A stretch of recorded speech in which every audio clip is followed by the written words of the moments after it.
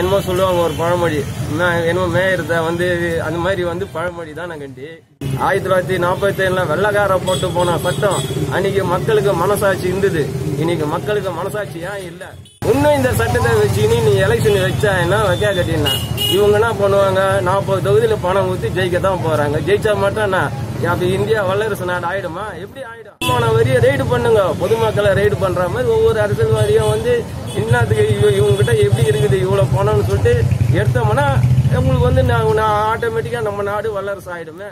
இது அரசியல் வந்து உள்நோக்கத்துக்கு இவங்க பணம் சம்பாதித்து தான் வந்து இப்ப எலெக்ஷனு கூட்டணின்னு பேசுறாங்களா கண்டி.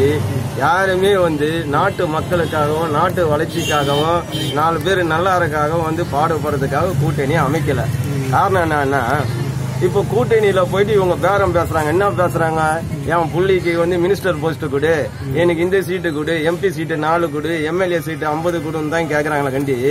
எவன யாராவது இது வரைக்கும் போயிட்டு காவேரியில தண்ணி வரல கேரளாக்காரன் இப்ப வந்து இப்ப பத்து அணை கட்டிக்கிறான் அதை ஓடிங்க ஆந்திராவில் நீ ஏன் தண்ணி வரலன்னு யாருமே வந்து பார்க்கிங் வைக்கல.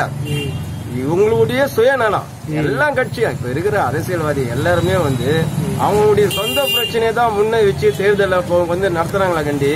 யாருமே வந்து அரசாங்கம் இது கவர்மெண்ட் நல்லா இருக்கணும் நாடு நல்லா இருக்கணும் நம்ம நாட்டு மக்கள் வசதி வாய்ப்போடு இருக்கணும்னு யாருமே ஆசைப்படல. அப்படி நல்லா இருந்தா அடுத்த எலெக்ஷனுக்கு நம்மளுக்கு ஆதாயம் கிடைக்காதுன்னு சொல்லிட்டு அடிமக்களை அடிமக்களாகவும் மேல் மக்களை வந்து மேல் மக்களாகவும் பாதுகாத்து வச்சுன்னுக்கிறாங்க. காவேரி தண்ணி வந்தா இவங்களுக்கு பிரச்சனை இல்லை. கேரளாக்காரன் எத்தனை அணை கட்டினாலும் இவங்களுக்கு பிரச்சனை இல்லை. ஆந்திராக்காரன் இப்போ டேமை தொந்து விட்டா சொந்த விடலாம் அதெல்லாம் பிரச்சனை கிடையாது. அவன் பிள்ளைக்கு மினிஸ்டர் சீட்டு வரணும். நம்மளுக்கு எத்தனை எம்பி சீட்டு கொடுப்ப? அடுத்தது எம்எல்ஏ சீட்டு எத்தனை கொடுப்ப? இதுதான் இவங்க எதிர்பார்க்கறாங்களா கண்டி. நாட்டு நலனுக்காகவும் நாட்டு மக்களுக்காகவும் எந்த ஒரு இதுவும் இல்லை. அதனால பொதுமக்கள் வந்து மெயினா நோட்டாவுக்கு ஓட்டு போடணும். நோட்டாக்கு ஏன்னா ஒரு பகுதியில் வந்து இத்தனை பர்சன்ட்டுக்கு மேல நோட்டால போலிங் ஆச்சுன்னா தேர்தல் ரத்தம் ஆகும். இந்த மாதிரி ரத்து ஒரு இப்ப நாற்பது தொகுதியில பத்து தொகுதி நோட்டாவால வந்து இப்ப தேர்தல் ரத்தம் ஆச்சுன்னா இது அரசாங்கம் பார்க்கும். என்னத்துக்கு இத்தனை தொகுதியில போட்டு வச்சுக்கிறாங்க?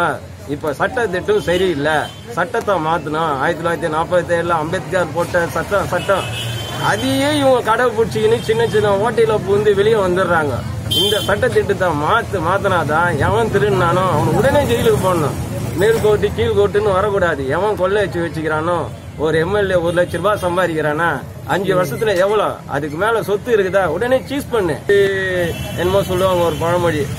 என்னமோ மேயறத வந்து அந்த மாதிரி வந்து பழமொழி தான் கண்டி.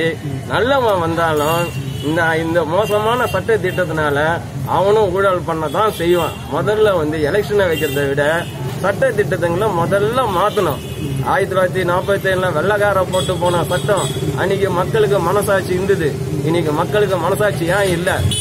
எல்லாம் இந்த மாதிரி ஊழல் அரசியல்வாதி ஆளை வந்து எல்லாருக்கும் மனசாட்சின்றதே சுத்தமா போயிடுச்சு. இன்னும் இந்த சட்டத்தை வச்சுக்கின்னு நீ எலெக்ஷன் வச்சா என்ன வைக்கா கட்டினா? இவங்க என்ன பண்ணுவாங்க? நாற்பது தொகுதியில பணம் ஊத்தி ஜெயிக்க தான் போறாங்க. ஜெயிச்சா மட்டும் என்ன? அப்ப இந்தியா வல்லரசு நாடு ஆயிடுமா? எப்படி ஆயிடும்? அவங்க அவங்க வீட்டுல பல கோடி ரூபாய் படிக்க வச்சிருந்தா எப்படி ஆகும்? ஒரு ஒருத்தருடைய வருமான வரியை ரெய்டு பண்ணுங்க. பொதுமக்களை ரெய்டு பண்ற மாதிரி ஒவ்வொரு அரசியல்வாதியும் வந்து என்னத்துக்கு இவங்ககிட்ட எப்படி இருக்குது இவ்வளவு பணம்னு சொல்லிட்டு எடுத்தோம்னா உங்களுக்கு வந்து நான் ஆட்டோமேட்டிக்கா நம்ம நாடு வல்லரசு ஆயிடுமே. ஒரே இடத்துல போய் பணமும் செல்வாக்கம் எல்லாமே அடிங்கி போச்சுன்னா நாடு எப்படி வல்லரசு ஆகும்? என்ன வச்சுக்கிறாங்க ஏழையா ஏழையா இருக்கிற வரைக்கும் தான் இவங்களுக்கு செல்வாக்கு. இப்போ அரசாங்கம் நம்மளுக்கு இப்போ ஏழை பாமர மக்கள்லாம் வந்துட்டாங்கன்னா இவங்களால ஒன்றிய முடிய முடியாது.